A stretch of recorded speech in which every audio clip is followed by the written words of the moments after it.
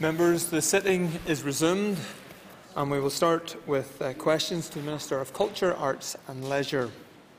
We will start with listed questions and question number 12 has been withdrawn. I call Mr Easton. Question number one, Deputy Speaker. Thank you very much, Deputy Speaker, and I thank the member for his question. Sport NI recently opened the third round of Active Awards for Sports funding programme. This programme is a lottery-funded small grants programme primarily aimed at organisations which are delivering to grassroots community-based sport. Eligible groups, including boxing clubs, can apply for grants from £1,000 to £10,000 and the closing date for applications is the 13th of April of this year. In addition, DCAL, through Sport NI, is currently investing £3.27 million into boxing through the Boxing Investment Programme. And so far, this investment has provided boxing equipment to the, val the value of almost £170,000, which has been distributed through the IABA 290 for boxing clubs. It has committed to £2.5 million in capital investment, which will provide improved facilities for 40 boxing clubs from across the north, and it has provided funding for a club development manager who has been appointed by the IABA to work closely with clubs to improve governance and to build capacity within boxing clubs. I call Alex Easton for supplementary. Could I um, thank the Minister for answer? Um, as the Minister knows, some of the boxing clubs maybe lack the capacity to formulate applications. Is there any help that um, the Department or um, someone can actually give to advise uh, boxing clubs how to formulate uh, applications? Um, well, I, I, agree with the, the, sentiments of what the member's saying. I mean, a lot of the clubs, and I've visited, I would say most of them, um, and I have visited some of the clubs in his own constituency, and they're, they're all doing great work, but their focus is on looking after children and young people. Uh, they're not there to look at due diligence and governance, although they're all perfectly willing to do that, but that's not their primary function. And that's why we asked for the money to go towards the boxing and support worker for boxing from this. So what I advise a member to do, if he wants to write to me, you know, uh, I can give him details of the, the, people that he needs to talk to. And I can also put him in contact with Sport NI as well to actually help, even if he, you give him the information, he can go out and give it back to the clubs, because it's really important that they have access to this money. This isn't about those who've got the smartest people putting in the applications to get the money. This is to go where the need is, and more than enough, it's usually for groups who haven't got the capability of putting in for the applications in the first place. I call Mickey Brady. I got uh, last Concordia. I thank the Minister for answer so far. Uh, could I ask the Minister how can DCAL continue to support and assist those boxing clubs which will not receive funding in this uh, stage of the programme? Thank the member for his question, and I recognise, as I said in the answer to Mr Alex Easton, that uh, the boxing fraternity and boxing clubs are reliant on uh, public intervention, particularly for a sport, as we all have agreed in the past, that hasn't received uh, funding or support uh, in the past as much as they feel they need to. So certainly, um, Sport NI is working with a number of other organisations, including the Department of Social Development uh, and district councils, to ensure that there is a partnership approach not only to the funding, but also to try and give some of the clubs support. I know in my own uh, example, um, certainly in Belfast City Council, they have actually come forward with their own boxing strategy to match the funding awarded through um, Sport NI. So certainly it is about making contact with your council, making contact even with MLAs and their councillors, and certainly making contact with Sport NI to ensure that those boxing clubs that need support get it. I call Pat Ramsey. Speaker, the Minister, in response to Mr Easton, made reference to small grants. Would the Minister outline to the House, is that money available for, for boxing clubs who want to purchase defibrillators and possibly have the capacity to manage and use them as well? Well, it's primarily around um, revenue, but there are small capital grants as well. Um, and should it be boxing clubs or any other sporting organisation, they're perfectly entitled to make a, an application to Sport NI. Um, certainly, I know that some of the clubs, some of the bigger governing bodies, have bought defibrillators. Um, many of them in the member's own county, in, uh, at a, a, a Derry game, a player took very unwell, and only for the use of defibrillators and some you know, spectators who were professionally and medically trained were able to intervene, save the man's life. But certainly in this case, it is around trying to get some money in to help the, the, the, the clubs, uh, sporting, small, small grants to help the sporting clubs. And for boxing, this has proved to be very successful, but I know it has been very successful for other sports as well. I call Jim Allister. Is the Minister continuing to cling to the, dis uh, the discriminatory practice operated by Sport NI of refusing to fund clubs which are not affiliated to the IA IABA? And when will she embrace the freedom of choice of clubs as to which governing body they affiliate to? Well, this isn't the first time that this member has accused either myself or Sport NI and either being sectarian or operating discriminatory practices, all of which I completely refute. And I think the member should put it on record that he withdraws his remarks. I think they're disgraceful. The member continues to make disgraceful, unsubstantiated uh, commentary in this House during question time, and I think it needs to stop. I call Bronwyn McGahan. Gurmi Agat, question two. Thank the member for her question. Following agreement by the Executive on the 2015-16 budget, DCAL published detailed savings delivery plans which summarised each savings measure outlined on the impact of frontline service and addressed the potential impact on equality. It also published a high-level equality screening of its spending proposals. Overall, the Department's high-level impact assessments of its savings plans are revealed are largely neutral but with some minor negative impacts in relation to some aspects.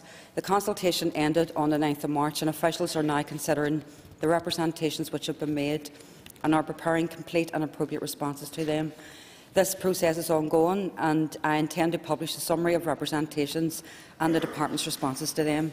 Meanwhile, I can say that the equality-related representations uh, over concerns affecting cuts on people primarily, uh, for example, uh, cuts on people with disabilities, uh, disability arts, uh, the library service and sports are some examples, but there have been others that have been raised.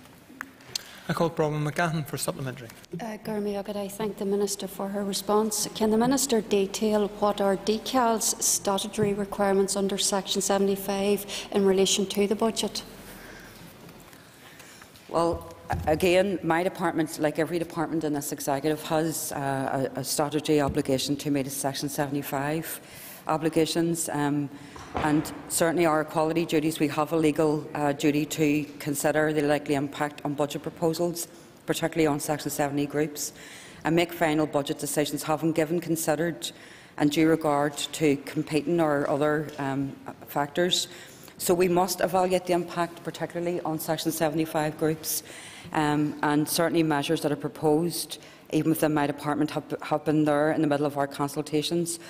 But our final uh, decision, um, what we need to do is ensure that any equality uh, impacts and assessments are built in to any consultation responses, and all the groups who apply will get a response. And indeed, when this exercise has been completed, we'll, we will publish the responses on our website. I call Chris Lyttle. Thank you, Deputy Speaker. Can I ask the, the Minister um, what what message the executive would have for our, our world-class artists uh, like poets Michael Longley, writers like Glenn Patterson, young actresses like Jayne Wisener, who are saying that the scale and level of reductions being applied to arts in Northern Ireland are wrong, and what, if anything, she can do to help some of the organisations whose very existence seems to be threatened by those, the scale of those reductions? Well, first of all, I am saddened that we're in this situation, um, but uh, I would encourage the, the member to talk to his party leadership, to join with most other parties, if not all. Uh, and we need to firmly put the blame of these cuts on our, our block grant where they belong, and that's with the Westminster Government. We have lost hundreds of millions of pounds of public money, and hundreds of millions of pounds that could be spent on not only our local economy, our local infrastructure, but supporting our local indigenous economy, such as our artists and all the rest. Meanwhile, while this is going on, I'm sure the member will know that even in his own constituency, uh, the Eastside Arts and East, East uh, Partnership have been awarded funds, and we want to make sure, as best possible, people who have never received support from government bodies and government agencies get funding and get it because they deserve it and because it's the right thing to do. So I would ask the member to join with the rest of us uh, and to convince his party that we need to firmly convince the Westminster Government not to continually take money from our Block Grant. I call Ian Milne. Good. Uh, cast number three, question three, Lord Holt. Thank the member for his question. The development of cultural and creative hubs is a key element of my department's focus on the North West development and is to ensure a lasting legacy from the 2013 City of Culture year. It's also important for communities to have local access to equipment and support to improve skills and development and training to ensure that people of all ages benefit from having access to cutting-edge digital and information technology. In the current financial year, 16 hubs across the North West have been supported including those in Castlederg and Strabane, as well as the city of Derry and others. All, all these hubs are located in areas of significant need and where, current, where the current provision is inadequate. Colleen Milne. Cormagut las con collier agus um, awakas don era don a fragri a hug the G Shaw. Thank you, uh, Deputy Chair or Speaker, and I thank the Minister for her answer thus far. The Minister there has recently visited the Cornerstone Creative Hub. Can she outline what support this project and that of the Seamus Heaney uh, Centre in Bellaghy will receive from DCAL? Gurmil Mogut. Uh, thank the member for supplementary question. He's right. I recently visited uh, the Cornerstone Creative Hub, um, and through the North West Social and Economic Development Programme, DCAL has provided that facility uh, 30,000 for minibus for community transport and 20,000 for continuation of a rural key music programme. I was very impressed with the work done by Paddy, Glasgow and all, everybody else working in that facility. It's clearly an example of where you put a small investment in a rural community, it has a wide reach and certainly the transport has helped that. In relation to the Seamus Heaney Centre, uh, the, the, member will, will be aware that we are conducting uh, an economic appraisal uh, certainly that appraisal isn't completed, um, but when it, it is, I expect the member, along with the delegation that he brought to my office before, to come back and we can give him the outline and the outcome of that, that proposal about what we do now about having this facility in Bellaghy in the future. I call Leslie Cree. Thank you, Deputy Speaker, and uh, I thank the Minister for her response so far. Minister, I wonder could you advise, please, on what the total budget set for legacy issues next year uh, what, what it actually amounts to in total across a wide range of spectrum, bearing in mind the successful Londonderry UK City of Culture. Well, as a member will be aware that uh, for 2013 was a budget set for the activities for that year. And that was, that was supported by the entire executive. And I was delighted that the executive also supported, even though it wasn't in the original programme for a legacy programme. We felt that such momentum was gathered up, particularly in the city, that the surrounding areas needed to have some benefits for that. So, so far we have spent £6 million looking at the legacy. We're continuing to go around the neighbourhood renewal areas and certainly areas at risk to try and get investment and establish community groups. So certainly we haven't got an indicative figure yet for that because it's work ongoing. But certainly I'm committed to try and get money along with other partners in the government who work with DSD and others and indeed Invest NI and the councils to try and make sure that expectations that have been built up people aren't disappointed, but certainly there's an outcome, a tangible outcome for them in their areas. Moving on, I call Pam Cameron. Question number four, please. Thank the member for her question. No funding as yet has been allocated by my department or its arm's length bodies for acti activities that are, that, that are earmarked for uh, commemorations in the South Antrim. An extensive and diverse range of activities, events and initiatives exploring a decade of centenaries is being delivered by organisations including the Ulster Museum, libraries, creative learning centres, PRONI and the wider arts sector. Many plans are still in development but will reach out and include people and communities across. Groups and individuals within South Antrim area, as an example, could also develop ideas and proposals to match objectives of existing funding programmes such as the Arts Council and NI Screen. Um, such programmes are not exclusively for the decade of centenaries, but proposals with the First World War themes might also address the underpinning creative TV and film production goals of these arm's length bodies. The Community Festivals Funds, operated by local councils and supported by my department, can also support events promote inclusive approaches to mark historical events in the member's own constituency. I call Pam Cameron. Uh, thank you, Deputy Speaker, and thank the Minister for her answer. Does, uh, can I ask her, does she agree that any commemoration should recognise that those who fought and made the ultimate sacrifice were from across the religious and political divide and uh, indeed from every part of the island of Ireland? I certainly do, and um, I believe that the approach that the Executive took uh, in 2012 around the decade of centenaries was one based on inclusivity, on respect, and on making sure that we um, provided opportunities for people to commemorate, mark, celebrate events that happened as part of decade of centenaries. I, I, find, I find it uh, important to acknowledge, along with other initiatives, that the sacrifices people have made and the remembrance and commemoration around those events need to be done in an inclusive and respectful way. And I am consistent in that approach and will be consistent in that approach. And hopefully, our ALBs and other opportunities can help people, particularly in local council areas, to use the Community Festivals Fund to bring forward initiatives in their own constituencies. I call Danny Kinahan. Thank you very much, Mr Deputy Speaker. I may thank the Minister for her answer so far. The centenary of the Battle of Somme falls into the budget year 2016-2017. Has any provisional budget sum been decided to cover that run up to July 2016? Well, certainly, um, and so, sorry, before I, I go on, I, I find it really difficult to hear some members' questions because there's at least three conversations going on at the same time. Um, but certainly I know that I have approached some of the local, some of the local councils have approached me and I've worked with some of our ALBs to try and ensure that some of the events, particularly around the decade of centenaries, are celebrated, but also that if people are bringing forward ideas as early as possible, that we can try and get a funding plan and a package around some of those events.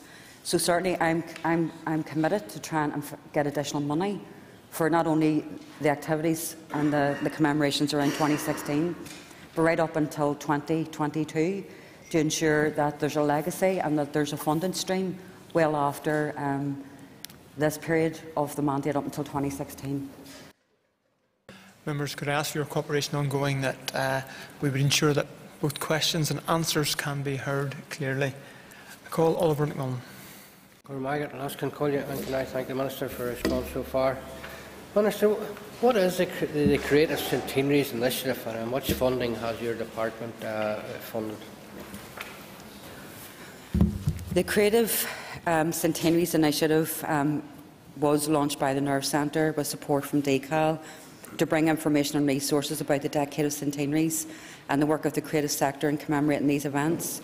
So, for example, well, some examples looked at showcasing digital storytelling and educational resources to highlight the role the creative industries and wider cultural sector can play in exploring, uh, exploring some of these defining periods in our history. And for younger people, a comic book publication for pupils has recently been launched telling personal stories from the Battle of, so of the Somme and Easter Rising, and this is indeed linked very closely to the school curriculum. And early in March, the Nerve Centre and the Community Relations Council and the Heritage Lottery Fund held a creative centenaries resource fair at the Titanic Belfast. And the, I'm sure the members are aware that over 250 delegates attended this to share ideas about their projects. Moving on, I call Ian McCrea. Question five. Thank the member for his question. Um, I can certainly confirm that the, the Northern Ireland Commonwealth Games Council intends to send a team of athletes to the Youth Games in Samoa later on this year. Sport NI is currently assisting uh, the Commonwealth Games Council to prefer, prepare a business case for investment in 2015-16 to include funding towards sending the team in September of this year. In parallel to this, I am currently considering the draft resource budget for my department and, and its ALBs. Uh, and as the member will be aware, the funding from Sport NI to organisations including the Northern Ireland Commonwealth Games Council will be finalised following confirmation of these budgets. But any funding provided by Sport NI to the, the, the, Commonwealth Games Council is likely to cover a range of costs, including support for the running costs of the Council itself, support for both the Commonwealth Games team and indeed the Commonwealth Games youth team. Ian McCrea. I welcome the, the support that, that, there is within the department and that the minister has given to the, um, the Northern Ireland Commonwealth Games Council.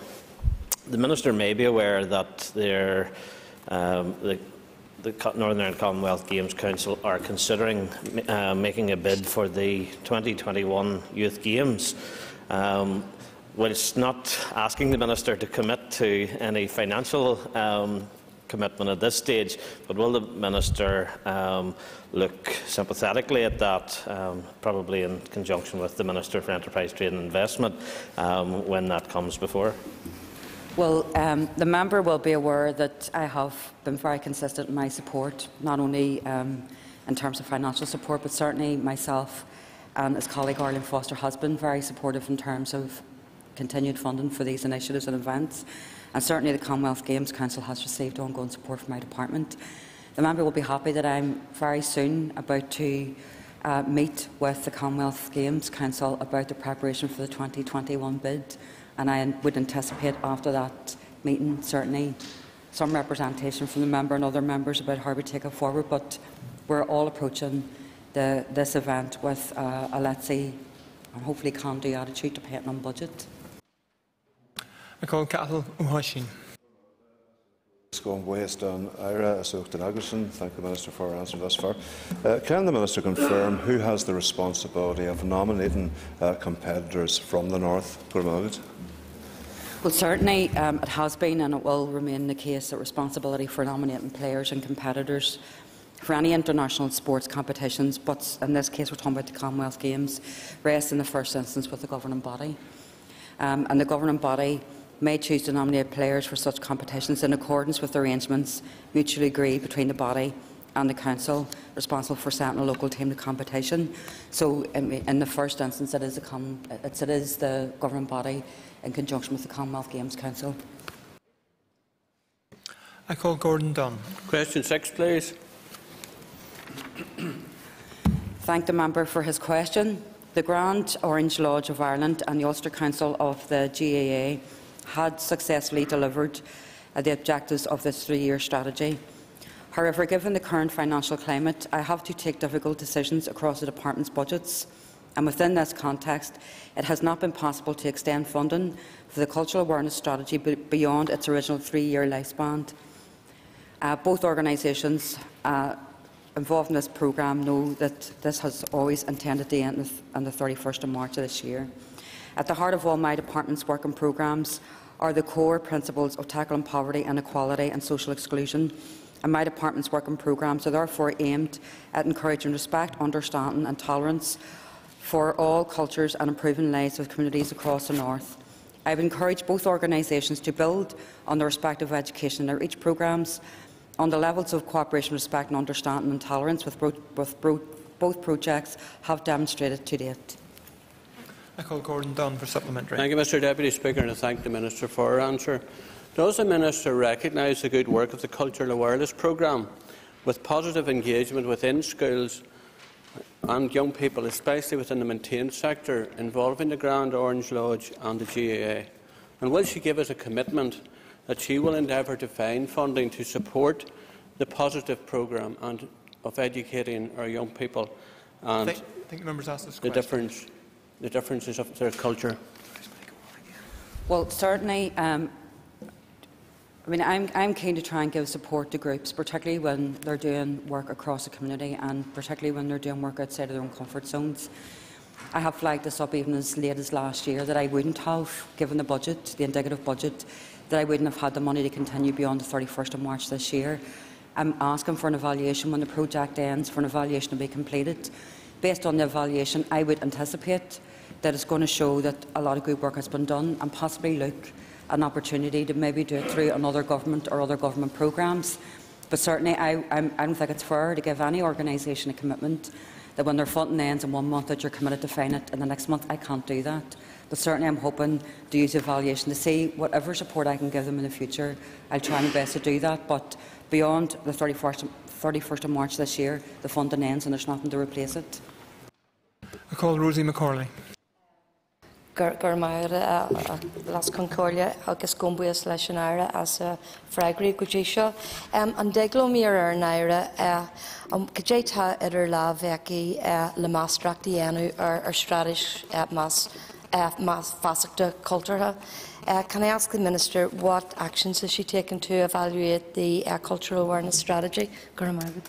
Well, the member would have heard, even just in terms of prime primary answer. I'm looking certainly at uh, uh, an evaluation when the programme ends. We've had interim evaluations uh, just looking at ways in which the two groups are, are working together uh, as well as working independently within their own communities. So certainly I'm looking at uh, an evaluation. Um, but I would encourage, and I did say this in, in my response to the question, I would encourage both organisations to build on the cooperation that they've gained uh, and certainly encourage both organisations to continue from their own organisation aspects of this work. Um, but based on the, the current financial situation, it is important that we get an evaluation. And if that evaluation comes back positive, then it's there for the groups to build on the future. But certainly, you know, that, that is the situation, and a review is key, not only for this work, but for other aspects of work that we're certainly looking to see how much value they bring to the community, what added value they're bringing to the community, and then on that basis, we'll, you know, decide if it's value for money and if we can find the funding in the future. I call Fearghal McKinney. Deputy Speaker, can I thank the Minister? It's clear then that the money's gone, but uh, what other specific strategies does the Minister have in mind then, uh, which could be employed to build on what she describes as the other good work that has been achieved? Well, certainly there are other cultural strategies. This isn't the only cultural strategy within DCAL, but certainly there are other cultural strategies, particularly around celebration, around festivals and music and art. Um, the member, I don't know if he was here or not when we answered the first question, or one of the earlier questions, particularly around the legacy of City of Culture. Part of that strategy has been to widen it out beyond the city to areas in the northwest. I know even as part of the cultural partnership, although it came together very late, as part of our Police and Fire Games in 2013, those cultural partners are still working together. I know almost have came together to try and provide a strategy for festivals and activity and discussions and lectures and art and competitions. Uh, and despite the fact that they've been in this situation where they haven't received as much funding as they'd like to in the past, so those strategies are there. What I intend to do is ask the arts sector, and I've already started this, to come together for an overarching strategy for the arts and culture in the same way that it receives executive support of sport. I think that's been missing for decades, to be frank. And unless you have full support of the executive, I believe the arts sector and certainly cultural practitioners won't get the support that they deserve without that robust strategy. I call Anna Lo. Deputy Speaker, um, I'm glad to hear the Minister said that uh, this programme is going to be evaluated. I'm sure the Minister agrees with me we are now a multicultural uh, society and a cultural awareness programme should have included other cultures. Well, the criteria, and the members raised a similar question before, but the criteria for this one, because it was in the department as far back as 2008, um, the criteria for this particular um, uh, cultural awareness strategy, when I asked that the GA be included, was primarily for all Ireland groups. Now, it's not to say that groups from the minority ethnic backgrounds aren't all Ireland complexion now, because as you know, uh, many people who have made these shores their home um, have family from all, all, in all counties across, uh, across Ireland. But certainly I would look forward to making sure that it isn't just, as I say, the two big traditional communities, that other, other communities are included for any future funding. I think that missing link is, is crucial. Um, but certainly for this uh, bout of the funding, the criteria was set that had, the, the, groups had to be all in their complexion. And when we made the decision, they were the only two groups that actually met that assessment criteria. I call Gerry Kelly. Uh, Kirsty Sharp, question please. Thank the member for his question. The Department for Social Development currently leads on the master plan uh, framework for the regeneration of Girdwood, which includes a community hub, a sports pitch, indoor sports facility, and mixed-use economic units and housing.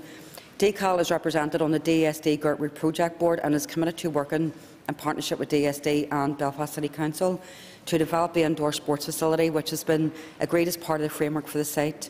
A dedicated sports facility at Girdwood has the potential to be not only a focal point for DCAL's cross-community youth sports programme as part of the T:BUC strategy, but also acting as a catalyst for promoting social inclusion and tackling poverty in surrounding areas.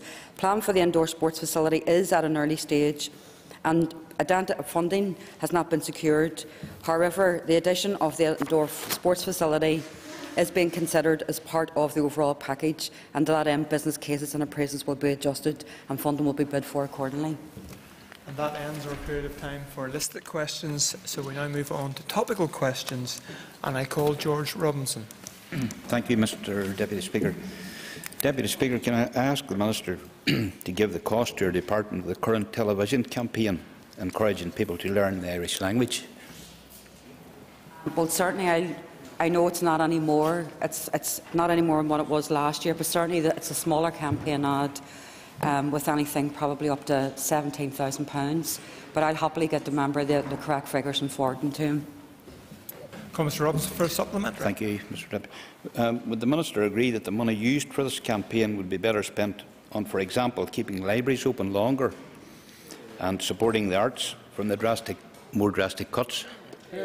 Well, um, the member obviously doesn't realise that language is part of the arts and cultural package and cultural awareness as well. And so I believe that is money well spent. And not only do I intend to um, continue uh, funding and supporting NIFA, I also continue to fund and support the Ulster Scots. And when it comes to languages, and it comes to the arts and culture, people actually see it as a place or as a thing that can be done without. Libraries do need more money, arts and culture need more money, languages need more money, and that's the situation I'm in, and I will continue to give both due regard and support both. I call Paula Bradley. Mr Deputy Speaker, um, can I ask the Minister um, to outline the criteria used in the review of the library opening times? Well, the criteria um, and indeed the consultation is still ongoing, but I'll get the, the, the member the criteria and senator. I mean, the consultation I think closes on the reduction of libraries. I think it's the 18th of April. And certainly I would encourage as many people as possible to feed into that consultation because she may be aware or she may remember that in the draft budget consultation uh, I, got, I received more responses about libraries than any other sector across and I would anticipate that when this consultation ends, there'll still be as many people who feel very dear about their libraries, but certainly I'll, hap I'll happily get the member the exact criteria and senator. I call Paula Bradley. Thank you, Mr Deputy Speaker, and can I thank the Minister for answer so far. Um, the Minister, um, could she confirm, will consideration be given to those libraries situated in neighbourhood renewal areas, such as in Rathcoole North Belfast and other parts of North Belfast, where there's considerable problems of low educational attainment, and what role does the Minister believe that libraries should play in this? Well, certainly, um, I believe that as many services as possible should be retained in neighbourhood renewal areas because they're neighbourhood renewal areas because they suffer multiple deprivation. Multiple deprivation, poor education attainment and poor health all go hand in hand. And if you remove a, service particularly or reduce a service in those areas, it has a bigger impact and it's harder to reach those communities than any other. So it's as simple as trying to get as many people to use the libraries as possible, and even if that means community groups using it to have meetings or for cultural or social activities, all the better. It doesn't mean to say that people need to go to libraries just for the purposes of borrowing books. But I would certainly um, encourage the member and other members in their own constituency to feed into that consultation, and particularly in areas like Rathcoole and in my own constituency, the, at the other end of North Belfast, deprived areas need libraries. I call Nelson McCausland. Thank you, Mr Deputy Speaker. Um, would the Minister give us her assessment of the um, importance of the Belfast Festival at Queen's in the cultural life of Northern Ireland. I'm sure you'd agree with me that it's almost unimaginable that Belfast, our capital city, wouldn't have a major arts festival. Well, um, first of all, um, I agree that, and I share the member's disappointment in terms of position that the Belfast Festival finds itself in. Um, I haven't heard from the festival itself saying that they're not going to have a festival, but certainly with the support from Queen's and indeed a reduction in support from the Ulster Bank last year has actually put the festival under a lot of pressure. But the festival will come back, uh, and I look forward to see uh, the scale in which the festival will come back, but it still has Arts Council support. I call Nelson McCausland. Um, would the Minister agree that there's some uncertainty or lack of transparency about the funding issues that led Queen's University to make the decision that they did, in that there was a reference to uh, a deficit in one year, but there may seem to have been other years when there was a surplus. Um, and would you agree to uh, meet with the organisers of the festival to get to the bottom of the facts so that we're clear on what the situation is? I mean, certainly I'm happy. I'm happy to do a meeting with festival organisers. I'm happy, as a member knows, I'm happy to do meetings with many people across a, a range of issues, particularly relating to DCAL. Uh, but, but I want to make one thing very clear. Uh, I won't have the money and don't have the budget to fund any deficit for the Belfast Festival at Queen's. I don't want to get the group's hopes up. Certainly, up in I mean, last year for 14-15, they received almost 240 plus thousand pounds, and I'm sure the member will agree that it's a significant amounts of public money. I call Alban Maginness. Uh, thank you very much, uh, Deputy Speaker. Could I ask the Minister, is she aware of the palpable anger out there amongst the arts community in relation to the cuts that have been made by her department? Uh, would, has she listened to people like the eminent playwright uh, Martin Lynch, who has condemned these cuts as unfair and disproportionate? And would the Minister agree that they are definitely unfair and disproportionate? Well, I, I do think there is a, a, a huge sense of support and solidarity within the arts sector, but the difficulty for people like Martin Lynch and Sir Kenneth Branagh and others, and Dan Gordon and many others who have made commentary in recent times, is that that sense of palpable anger is shared outside other sectors. And I encourage the member and his party to join with my party in putting the blame where it lies with the Westminster Government, who have taken hundreds of millions of pounds of public money from a block grant. What we need to do is protect our frontline services, and arts and cultural sectors, for me, are included in that. I call Alban Maginness. Well, uh, I thank the Minister for her reply, although I don't find it that satisfactory, nor would members of the arts community. But I will put the blame where the blame lies with her and with her party and with the executive who passed a bad budget and the minister is. As a member a, a question. The minister, the minister is supportive of that budget. Would the minister now withdraw her support from that budget? Well, I, I take responsibility um, for my department and I'll stand and fall on my own sword. What I will not do and what I'm proud of my party uh, I'm proud of Mark McGuinness is that when we make a decision, we try to protect those who are vulnerable and protect it as best possible. We don't play lip service, we don't play politics with poverty, we don't play politics with disability, and we certainly, we certainly don't take the money and then go out and carp about what we did or didn't get. We go in and fight for people, and we do it all day, every day, not just a question time at the last five minutes of it. It's pathetic. I call Tom Elliott. Uh, thank you very much, Deputy Speaker. And uh, the Minister will be aware of the, the, significant financial cuts to Disability Sport NI. Does the Minister actually accept that the effect on the disabled community will be disproportionate compared to the funding reductions in other areas of her budget? Well, I, I, share the member's disappointment in terms of, I mean, there's potentially £16,000 of Disability Sport NI's budget, and £16,000 means an awful lot to them and goes an awful long way. However, I'm looking, as I have done in previous years, end of year, potential end of year funding and potential bids along with Sport NI to try and increase that, looking through their Activate programme and their, their sports programmes, particularly for disabilities um, in communities and grassroots level.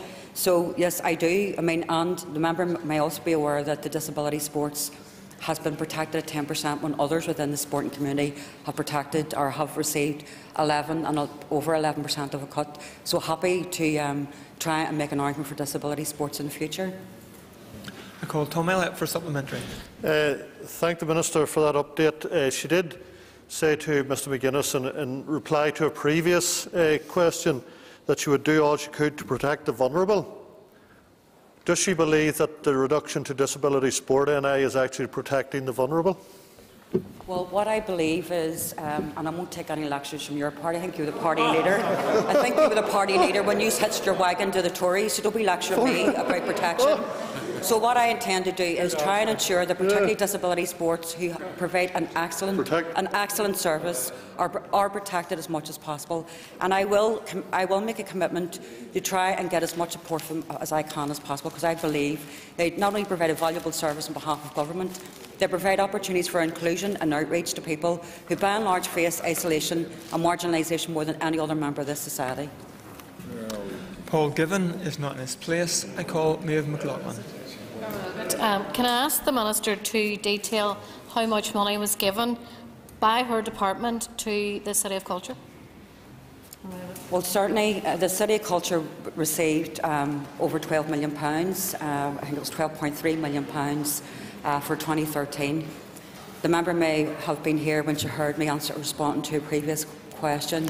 in terms of legacy, uh, which at this stage is totaling at £6 million, and it, certainly it's a legacy for the city, but certainly we included areas within the North West to ensure that the benefits and indeed the outcomes that were achieved and achieved very, very well by, by Derry as part of city culture are felt by others within the surrounding areas. McLaughlin for supplementary. You're welcome. I thank the Minister for that detail and indeed and thank the Minister for her um, investment uh, into the city and the wider region. Uh, just given the fact that the Minister has outlined the 12 million and the wider legacy issue and the fact that she had introduced a legacy plan for the city in the North West, which was additional to the Executive's financial commitment, what is, what is the entire investment uh, at this point to the city and the wider North West? Well, the investment at this stage is almost £19 million uh, when you take it into the round, and that's substantial money. But certainly, I make no apology for making that investment. On behalf of my executive colleagues, I make no apology either. And certainly, in terms of the legacy programme, that not only has been uh, spent in the, in the city of Derry, but also we're looking at areas like Coleraine, Portstewart, Castlederg, Strabane. Uh, we're looking at uh, areas in Limavady, Dungiven, uh, and in Ballinascreen. So it is really important, and it's still ongoing. And it is really important that we additionally try to make bids to ensure that those, those groups who have also received funding from other departments get additional funding to make sure that the services they're providing to people, mainly who, are marginalised, actually get a good service and a good outcome and actually feel that there's something uh, for them and it's actually meeting needs within their constituency. So it is important that we continue to make those bids. I call Danny Kinnan. Thank you very much, Deputy Speaker. And if I can, I know we want to see much more money in the arts, but I can go on to a happier matter and being a great fan of football. Would the Minister join me in wishing every success to Paddy McNair in his full international debut at Hampden tomorrow night? Yes, of course. Of course, yes. I call Danny Kinahan. Thank you very much. And given the support that there was for rugby last weekend, would she also wish the whole of the team great support for tomorrow night and football to get as much support as rugby does? Absolutely, and indeed the women's team. I'm assuming, yeah, yeah, because more often than enough we're talking about male athletes in this house, and I think the women deserve special mention as well and should enjoy all our support. I call Cathal Ó hOisín. Anas gan cuairle agus an jiglam ceiste choigen ar faoi an status faoi lethir is an scim scim géige fóbal. I thank the member. Um, I think what he was asking me was in, in terms of status for the scam, scam, the scam Gable. Yeah, okay. Uh, certainly, that the member may be aware that Foras Gaeilge certainly conducted a consultation into this, and there was a lot of feedback. I know members of his constituency and other neighbouring constituencies fed into that. Um, so I'd be, I'd be, I'll happily. Um, I'm meeting with some of those groups, but certainly working with Foras Gaeilge to ensure that there is additional support for this programme. Can, can, I remind members to provide a translation in order that all members can understand questions and answers? I call Cathal Ó hOisín for some. Uh, I forgot about the translation there. Uh, um, can I ask the uh, Minister further then that uh, given that SCEM uh, Gaeilge is one of the most important deliveries that Foras na Gaeilge administer, that she will bring the matter up with them and ensure that that will continue to be the case. I'm, I'm happy to do that, and I thought the member was actually testing my, my skills in Irish, and I'm hoping my uh, teachers are watching to, to actually uh, say that I fully understood your question, was able to respond to it appropriately, but yes, I will continue to raise that, that issue. And that is the end of questions. We've completed our topical questions to the Minister of Culture, Arts and Leisure. Can I ask members to take their ease for a few moments and as the next question time commences at 2.45.